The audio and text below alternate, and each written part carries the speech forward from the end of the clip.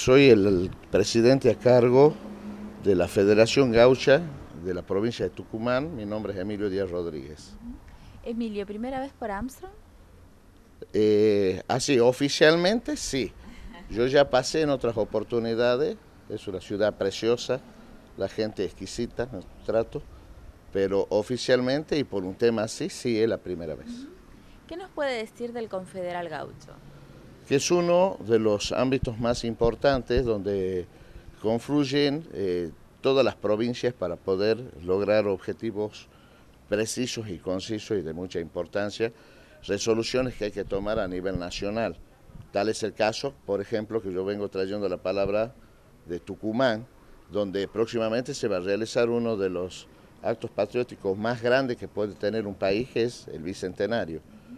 ¿Te imaginas? Eh, una provincia donde se ha declarado la independencia es uno de los actos más importantes históricos que tenemos. Entonces, este, ese es un tema que lo vamos a tratar y que lo estamos tratando acá en el Confederado para tomar las resoluciones de cómo, de cómo lo vamos a, vivir a ese bicentenario, donde ya estamos próximamente a un mes de julio, de ese 9 de julio de, que, que vamos a celebrar la declaración de la independencia. Entonces, todos esos tipos de temas se los trata acá y se lo extiende a nivel nacional para su participación. ¿Se reúnen cuántas veces al año? Mira, no hay una fecha determinada en cuanto a cantidad. Eh, cada vez que es necesario se realiza un confederado. Nosotros, por ejemplo, estamos atravesando el mes de febrero, este es el segundo confederado que se ha realizado en año. El tercero creo que va a ser casualmente en Tucumán en la primera quincena de mayo. Entonces, de acuerdo a las necesidades, son las reuniones. Pero normalmente, cinco o seis veces por año, es casi seguro que estamos juntos. ¿Y cómo responden las provincias en sí? O sea, ¿hay justamente este sentimiento de unidad? Sí, muchísimo. En cada convocatoria nosotros tenemos acá tierra de, gente de Chubú, de gente de todos lados, ¿te imaginas? No sé, no, no interesa la cantidad, sino es la calidad de la gente que venga.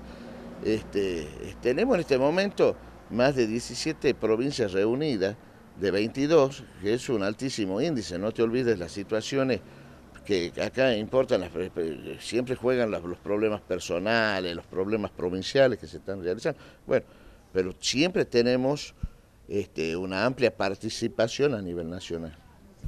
Bueno, mi nombre es Baroni y somos de Santa Fe, capital. Pertenecemos al Fortín Brigadier López es uno de los fortines más viejos, es uno de los más viejos de la provincia de Santa Fe. Cuando hablamos de los más viejos, digamos, ¿de qué año data? Y data de, y vamos a cumplir 60 años este año.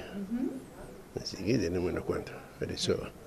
¿Y ahora cumplimentando actividades en la localidad de Amsterdam? Eh, ahora sí, ahora venimos invitados por este señor acá de la Confederación, abuelos que somos conocidos, bueno, hemos venido a participar acá.